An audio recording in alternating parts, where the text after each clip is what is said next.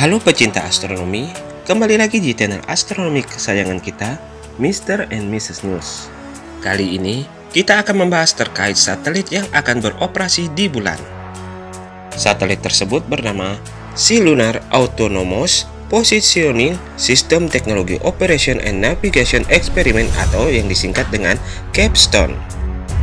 Untuk mengetahui tentang terkait satelit CAPSTONE ini, Sebelumnya jangan lupa untuk subscribe dan share video ini ke teman-teman lainnya agar mendapatkan video terbaru terkait astronomi, fenomena astronomi, dan berita astronomi lainnya. NASA meluncurkan sebuah satelit kubus CubeSat untuk melakukan pengujian terhadap orbit bulan yang aman digunakan untuk program Gateway, sebuah bagian dari misi Artemis ke bulan. Gateway akan menjadi stasiun luar angkasa yang mengorbit bulan yang nantinya akan mendukung misi Artemis untuk mendaratkan manusia ke bulan dan membangun pangkalan di bulan. Dengan pesawat ruang angkasa Photon Rocket Lab berhasil menerbangkan mesin Hypercarry pada 4 Juli 2022 mengirimkan Capstone CubeSat NASA pada orbit transfer bulan balistik.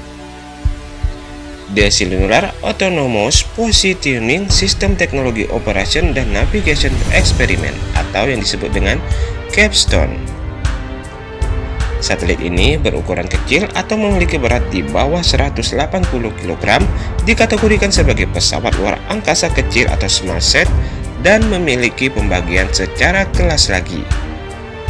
Satelit mini memiliki berat antara 100 hingga 180 kg satelit mikro antara 10 hingga 100 kg, satelit nano antara 1 hingga 10 kg, dan satelit pico antara 0,01 sampai 1 kg, serta satelit femto antara 0,001 hingga 0,01 kg. Jadi secara jelas satelit Capstone karena memiliki berat 25 kg dan berukuran 12U merupakan satelit kubus yang masuk kategori satelit mikro. Capstone singkatan dari Sea Lunar Autonomous Positioning System Technology Operation and Navigation Experiment ialah sebuah satelit kubus yang berukuran 12 unit atau 12U dan memiliki berat 25 kg. Satelit kubus merupakan klarifikasi dari satelit nano yang menggunakan ukuran standar dan bentuk. Satu unit atau 1U satelit kubus berukuran 10 x 10 x 10 cm. Tujuan dari diluncurkannya capstone ini ialah untuk memverifikasi karakter dari orbit apakah benar-benar aman untuk misi selanjutnya mendemonstrasikan jalur yang efisien antara stasiun luar angkasa bulan dengan permukaan bulan beserta navigasinya dan menambahkan pengalaman untuk meluncurkan satelit kecil yang jauh dari bumi. Nantinya, setelah perjalanan 3 bulan ke bulan setelah peluncuran, satelit bulan Capstone akan menghabiskan 6 bulan mengumpulkan data selama demonstrasi ini.